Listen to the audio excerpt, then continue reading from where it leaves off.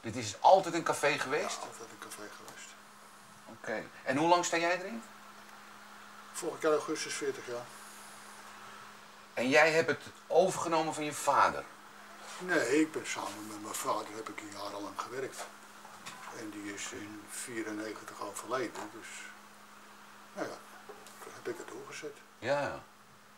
En jouw vader die deed er nog iets bij, hè? Naast de cafébaas, zeg maar. Ja, was scheidsrechter vroeger. vroeger. Nou, vroeger in de jaren 50, begin jaren 60 was mijn vader betaald voetbalscheidsrechter. Hij, hij kon bijvoorbeeld heel goed de voordeelregel toepassen. Daar was hij gewoon erg goed in het spel laten lopen. Als dat spel loopt, hebben ze geen tijd om iets anders te doen. Ja, want ik heb hier een plakboek van je vader.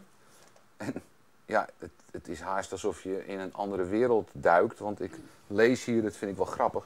Ex-arbiter Lacroix schiet in een lach. Hij glundert. Mijn zoon, hij voetbalt in het VVA, was 2,5 toen ik hem meenam naar de finale van het toernooi in Muiden. Tussen de clubs Muiden en Muidenberg. Zijn zoon zat langs de lijn, rustig in het gras. Plotseling hoorde Lacroix zijn zoon huilen.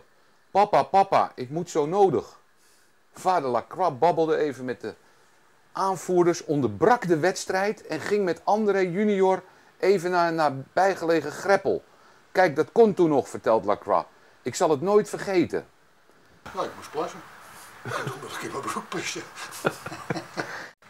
Ja, en ik zie daar ook nog een, een, een bal. Dat is van zijn laatste wedstrijd die hij gefloten heeft. Ujpes Dossa tegen Slovan Bratislava. Nou, dat vind ik toch knap dat ik dat helemaal weet, hoor. Ja.